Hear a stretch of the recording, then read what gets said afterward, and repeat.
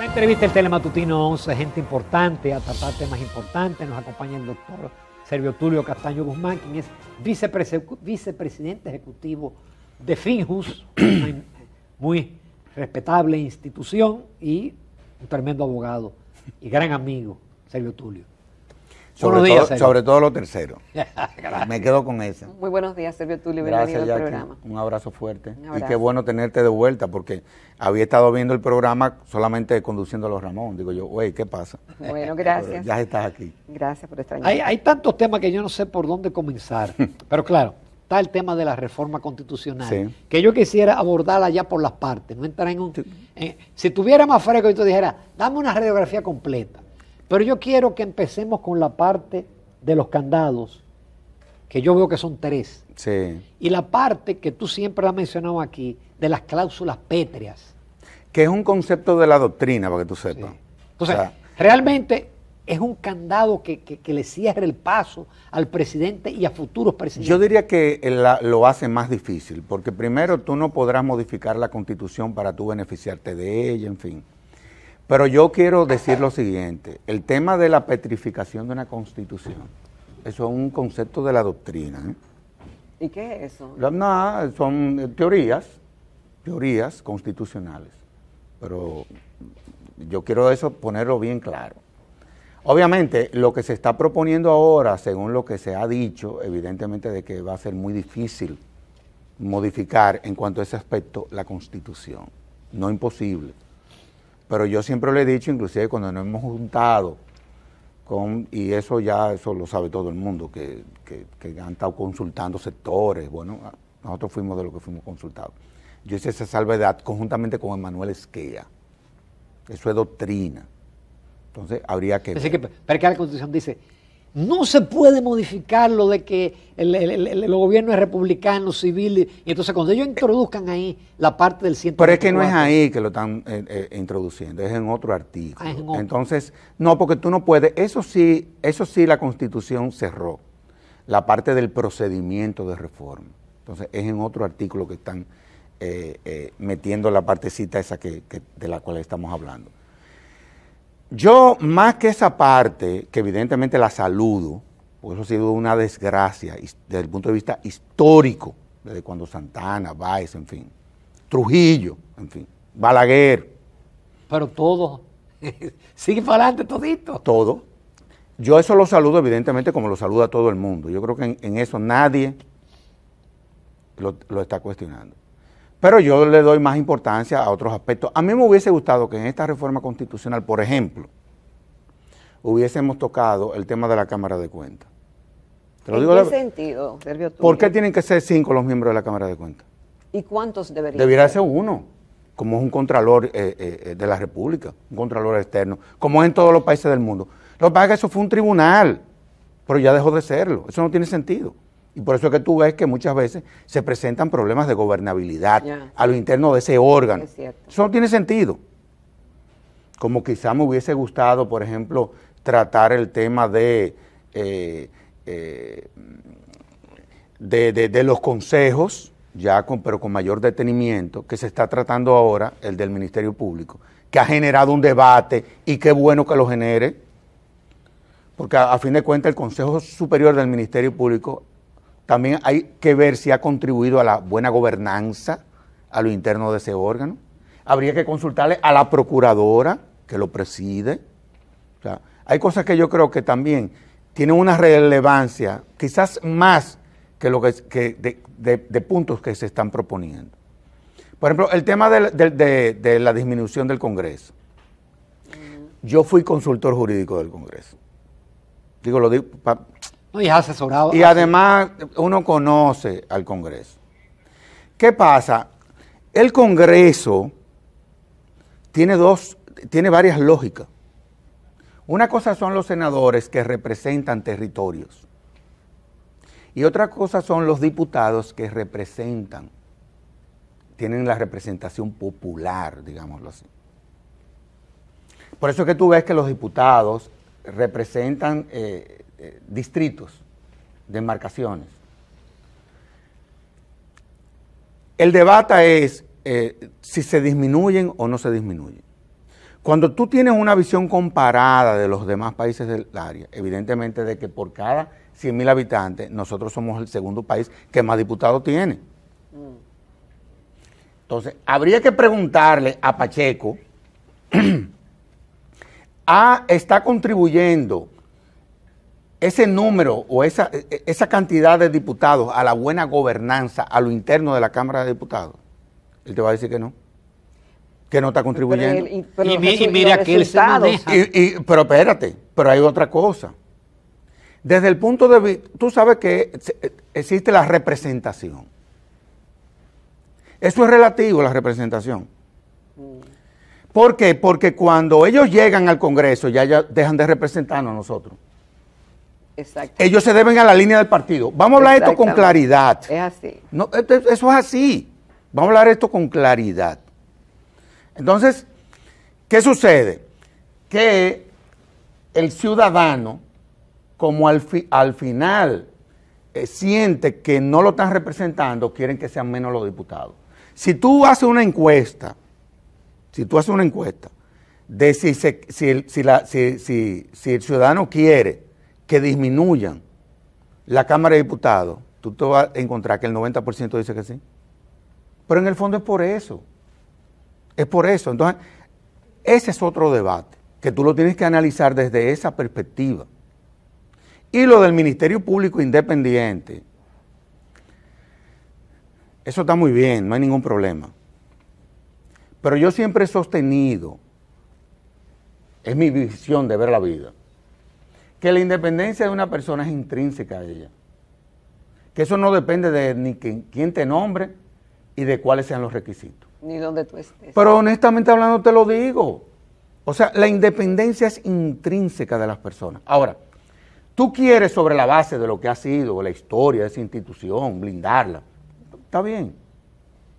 Y ahora, dentro de las cosas que se están planteando, que tú podrás decir sí, es el tema de la inamovilidad. Pero la inamovilidad no tiene nada que ver con la independencia. Si la lógica es tú poniendo lo que sea inamovible, tú vas a creer que tú estás garantizando que el que asuma la Procuraduría va a ser independiente. Pudies, yo no sé, honestamente no te lo digo. Pero, puede, como escribía, escribe un artículo hoy Pellegrín, que de repente tú, tú, tienes un tipo que va a tener más poder que el presidente de la República. Bueno, gracias, gracias a inamovilidad. No, el tema es, él lo dice, yo lo entiendo, por el tema de Perú y Guatemala. Y Venezuela hoy, Venezuela hoy, que son de que Ministerio Público Independiente. El de Guatemala, eh, para que tú tengas una idea, quiso inhabilitar al que es hoy presidente, pero no solamente eso. Luego de que lo eligieron como presidente, trató de que no se juramentara. El de Perú, hemos visto lo que ha pasado. Que, que por un reloj que le regalaron a, de por Dios, a la presidenta eh, actual, la sometió a la justicia, hizo un allanamiento. Entonces, nosotros también, yo estoy de acuerdo con que cada vez el Ministerio Público se, se blinde más, pero ojo, muchas veces uno creyendo que va a fortalecer al órgano, Sabrá Dios qué loco pueda eventualmente colarse ahí y desestabilizar este país. Lo digo con toda la sinceridad del mundo. Y lo digo, Ramón, porque yo fui procurador general adjunto también. Ahora, Sergio Tulio, el tema de, la, de los aspectos más relevantes de la propuesta es de los cambios en la Procuraduría en cuanto al nombramiento de la autoridad superior en ese aspecto, la forma de cómo se escoge. No, yo estoy de acuerdo.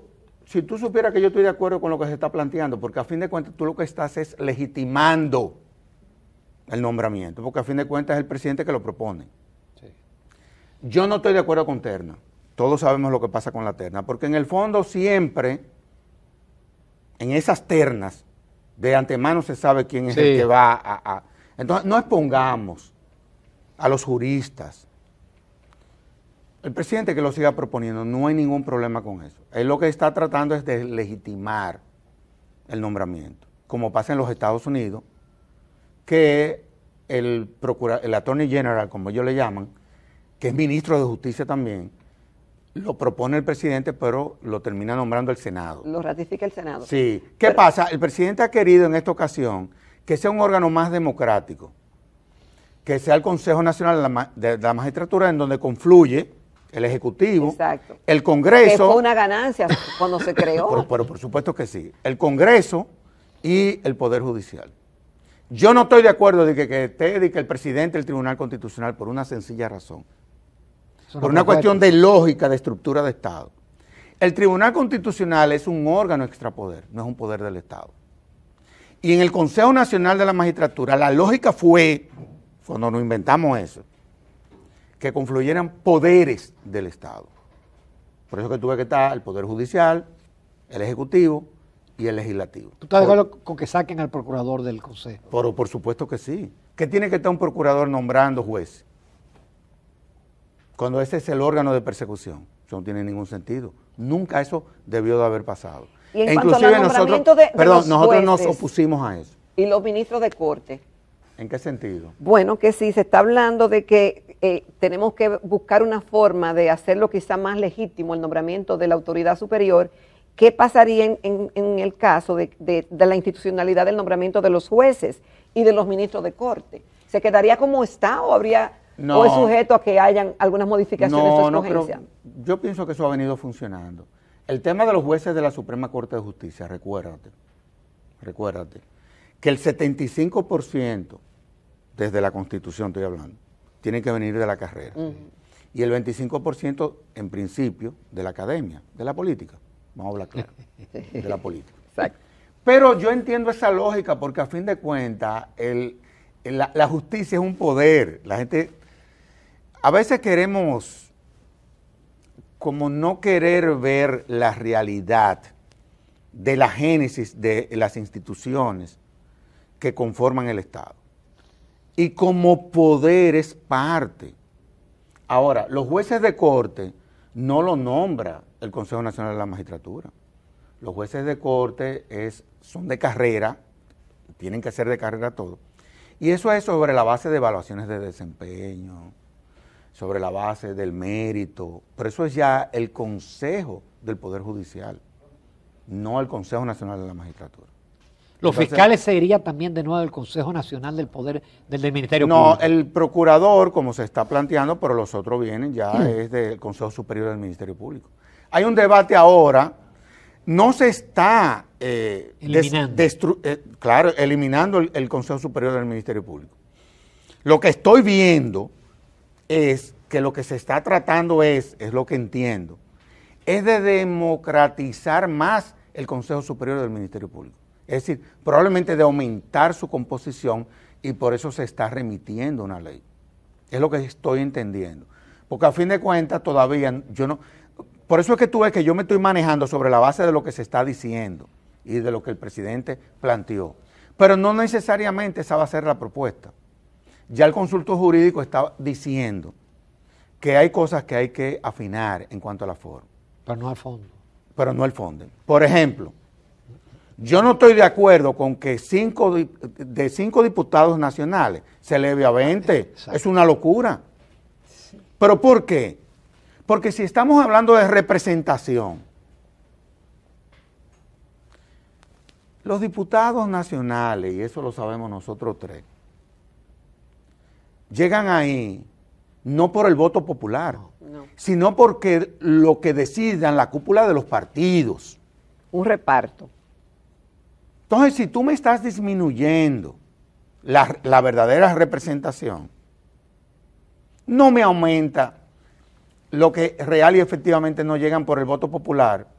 Y vuelvo y reitero, y por eso es que los que, los que, los que llegan por elección popular se quejan Dicen, pero ven acá. Yo gasté muchísimo dinero. Me la jugué para llegar aquí. Hoy sucede que ahora me van a meter 20.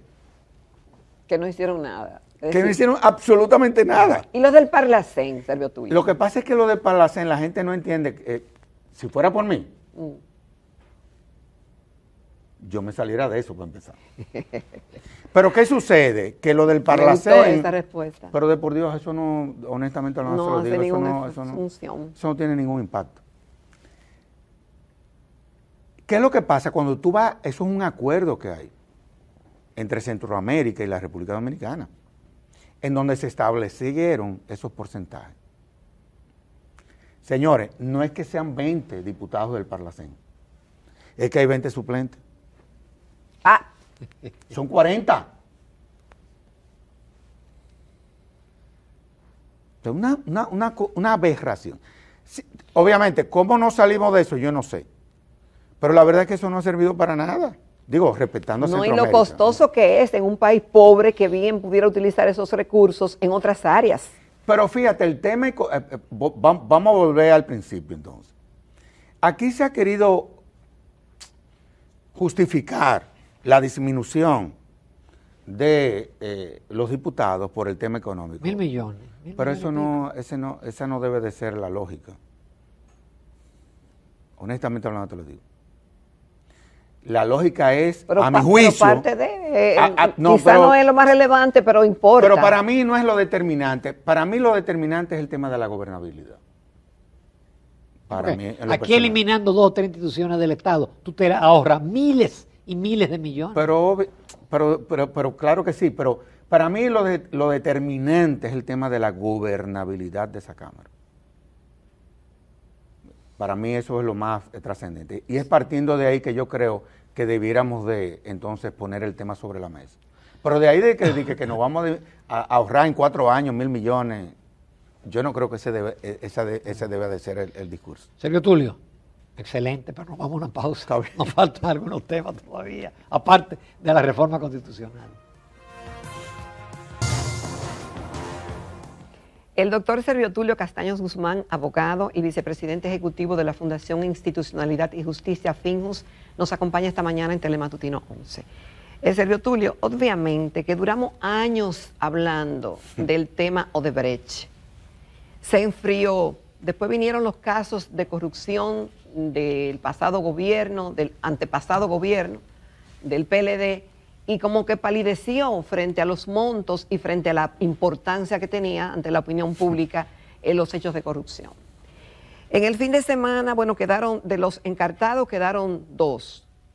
Y eh, el caso en la Suprema Corte de Justicia, el fin de semana, eh, sorprendió que la República Dominicana fue el único país eh, que quedó sin condenas ni sanciones eh, de actividades delictuales que fueron primero confesadas, que fueron comprobadas eh, por organismos locales con- a nivel y, y también de jurisdicciones extranjeras. Así mismo. Vimos que se persiguieron hasta presidente, uno se suicidó, hubo presión internacional sobre el tema, hubo reconocimiento de que hubo corrupción, que hubo sobornos. Sin embargo, eh, eh, ahí vemos lo que pasó, están descargados porque no hubo sobornados. Es decir, existió un soborno, pero no existieron los sobornados.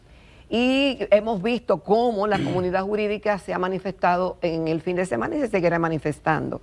Entonces, yo he visto muchas opiniones. En tu, a tu juicio, ¿qué falló? ¿Qué falló? Falló todo el poder eh, judicial, el órgano per- persecutor, es el tema de un expediente mal elaborado, como han dicho algunos, es un tema de jueces, como han dicho otros. ¿Qué es lo que ha fallado aquí? ¿Y por qué nosotros fuimos el único que no sancionamos a nadie y que eso en cierta forma deberá afectar la imagen del país y de la seguridad jurídica para los inversionistas? Eh, Yo me alegro de que tú pongas el tema sobre la mesa.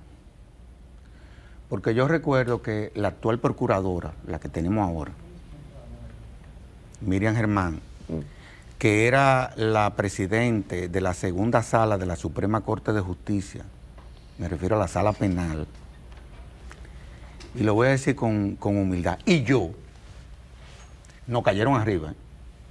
nos dijeron de todo en las redes, muchos de esos abogados ahora que están opinando, advertimos que los expedientes se, instrumentan sobre la base de pruebas, no de teorías.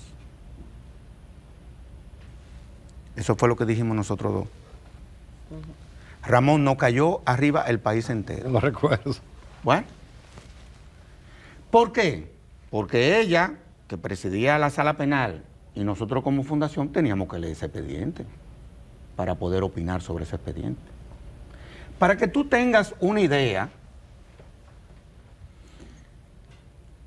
los delatores fueron a Brasil y sus declaraciones, que eran en portugués, aquí la tradujo una persona que ni siquiera era intérprete judicial. No, no, pues vamos a poner esto sobre la mesa. Te acusaban sobre eh, lavado de activos. Te condenaron por enriquecimiento ilícito. Por una cosa que no era parte de la acusación.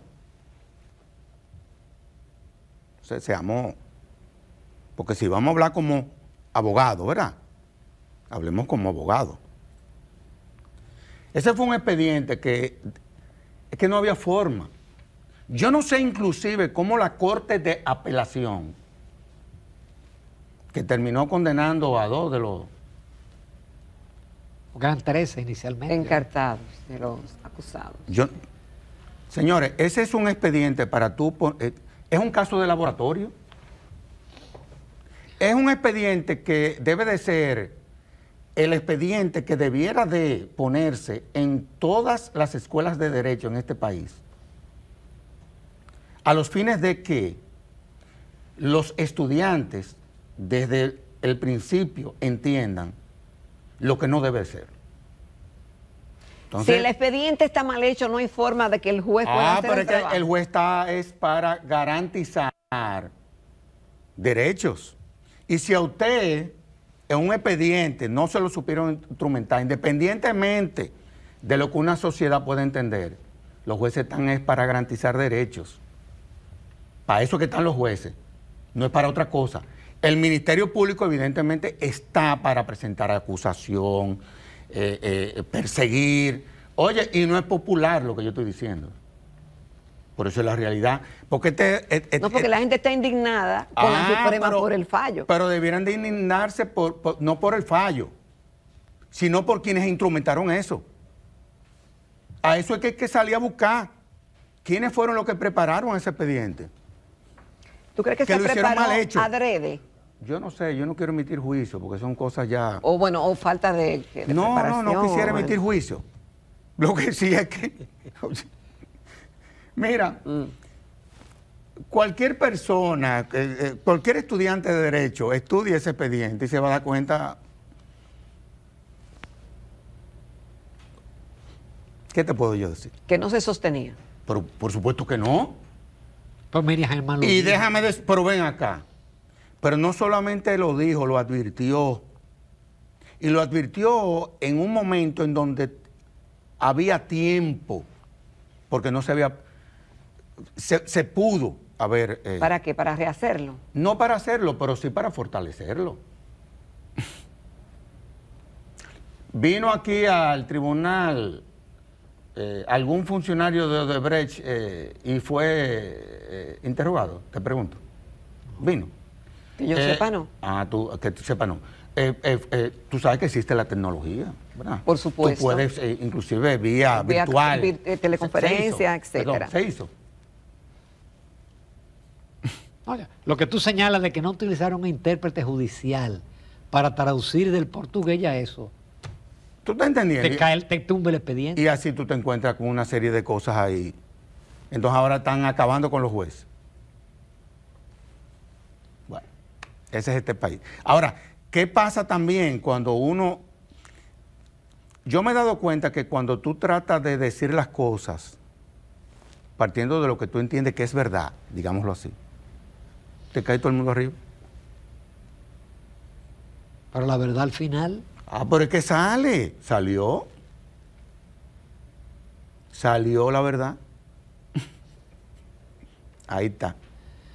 ¿Qué, qué, qué, qué, quién queda mal? Exacto. El país. ¿Quién queda mal? El país. ¿Qué es lo que hay que corregir, en Servio Tulio? El país queda mal, el país, el mm. país queda mal. Ya.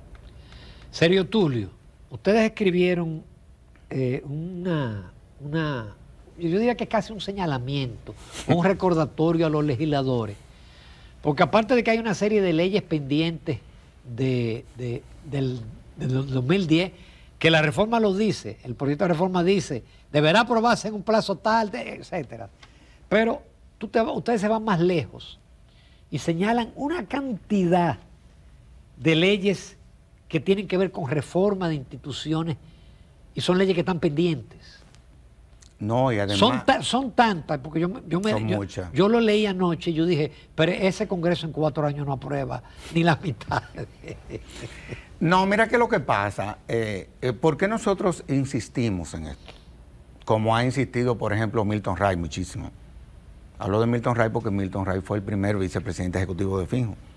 Entonces siempre va a haber él siempre va a tener un vínculo con la fundación. Claro, un referente. Siempre. Eh, aparte de que la fundación para él es su, niña mimada, literalmente hablando, hasta tal punto que cada vez que a veces eh, eh, yo hago un pronunciamiento, que él como que lo pone nervioso, me llama y me dice, mira Sergio, tal cosa. y, está muy pendiente de Finos. y lo agradecemos mucho. Tú sabes que con la reforma constitucional, eso la gente a veces no lo ve, nosotros pasamos de un Estado liberal a un Estado social y democrático de derecho. Los estados liberales eh, son los que se fundamentan sobre eh, la base de la representación de la que hablamos. Es decir, nosotros votamos, elegimos nuestros representantes, que son los que hacen las leyes, son los que diseñan la política pública, todas esas cosas.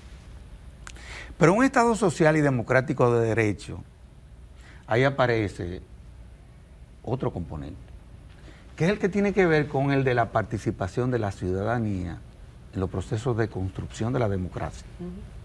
hoy la democracia no se concibe sobre la base única y exclusivamente de la representación, sino que está el de la participación de la ciudadanía también en esos procesos. Por eso que tuve a, a Finjus luego del 2010 tan activa en los procesos de diseño de políticas públicas. Pero eso es fijo, que tiene una estructura. Pero la Constitución diseñó una serie de herramientas que son las que al final de cuentas van a garantizarle a la ciudadanía esa participación. La iniciativa popular legislativa, no tenemos ley. El referéndum, no tenemos ley el plebiscito, no tenemos ley. Es decir, que nosotros somos, desde el punto de vista del Estado social y democrático de derecho, una democracia a medias. Mm. Nosotros no hemos dado ese salto. Y las observaciones que hacemos entonces van en esa dirección. Pero ¿qué sucede? Que tú te encuentras entonces con una serie de leyes, código penal, ¿Cómo tú puedes diseñar una política criminal de Estado con un código del siglo XIX? Cuando la modalidad del crimen cambió. Eso es imposible. Por eso que tú ves que el Ministerio Público vive chocando, porque no, no cuenta con una serie de herramientas que son el producto de la nueva modalidad del crimen. Por ejemplo, la estafa piramidal. Eso no está arreglado aquí. Yo no sé cómo van a condenar a esa gente. A, Mantequilla. A Mantequilla y al otro, a Hacho, Jaro, Jaro, no recuerdo. No sé cómo lo van a condenar porque eso no está tipificado. No sé cómo lo van a condenar. Entonces, hay 72 tipos penales, fruto de la nueva modalidad del crimen, que no están tipificados. Pero yo te voy a poner una ley que para nosotros es crucial, y yo que me la tuve que aprender de memoria, porque si hay, si hay algo de lo que yo me he sentido orgulloso en mi vida fue haber sido miembro de esa comisión, la de Punta Catalina. Si hay algo de lo que yo me siento orgulloso, duro, duro que le dieron. Sí, el tema es que yo, como soy abogado, yo no soy ni electricista, ni empresario, ni economista. Mi posición fue jurídica. Y yo me di cuenta ahí de que esa fue una ley que se diseñó para financiar el modelo político que se instaló en este país. Ley de contrataciones públicas. Ley de contrataciones públicas. Y he dicho, y cuando yo recuerdo fuimos a entregarle el informe al presidente entonces, le dije, mire, esa ley es la a, la que usted, delante de todo el mundo, a la que usted lo va a meter en un problema. Como el efecto. Todos los sometimientos han sido por esa bendita ley, por las contrataciones que se hicieron. Y como le dije al presidente Luis Abinader, le dije, presidente, modifique esa ley porque esa es la ley que le puede meter a usted en un problema. Perdón, pero hay una propuesta del propio eh, Buenísima. de, de Claro, y nosotros trabajamos conjuntamente con él. Buenísima. Que se aprobó en primera lectura en el Senado ya para que no se cayera, no perimiera, y que yo creo que es lo que se debe de aprobar. Porque contrataciones públicas hoy está trabajando no sobre la base de la ley que tenemos, sino sobre la base de una serie de reglamentos y de una serie de iniciativas que Carlos Pimentel, que conoce muy bien el sistema, ha podido diseñar para que él no termine mal, ¿tú entiendes? Y, las cosas van funcionando. Le brincan la tablita de vez en cuando. Bueno, es que son tantas las contrataciones públicas que él no puede tener el, el control de todas. Pero sí, cuando se presentan situaciones, bueno, la verdad es que la dirección de compra y contratación, esa es de, las direcciones que hay que felicitar e, de, esta administración. y así tú te encuentras con muchísimas leyes. La de indulto. Sí, pero Servio Tulio, justamente. La de Contraloría usted también le propone. Claro, claro que sí. Todas esas leyes que están pendientes, incluso muchas que no sé si ustedes la enlistan ahí, que, que se emanaron, de, que eran necesarias después de la reforma constitucional del 2010, que están pendientes, más otras, muchas más que ustedes mencionan pareciera que el ejercicio legislativo debería concluir con estas leyes y no inventar cosas nuevas si hay tantas cosas pendientes del pasado. Bueno, yo te voy a decir que yo estoy totalmente de acuerdo con lo que tú estás planteando. Nosotros tenemos ya que concentrarnos en lo importante. Por favor. Para es una gran oportunidad. Yo pienso que sí. el presidente tiene una mayoría ahí absoluta. Bueno, y además él está planteando una serie de reformas. Por ejemplo, yo coordino porque la verdad es que yo no entiendo, honestamente hablando, las cosas que a uno se le pegan. Ahora me han nombrado como coordinador para, la, para reformar la ley de la policía.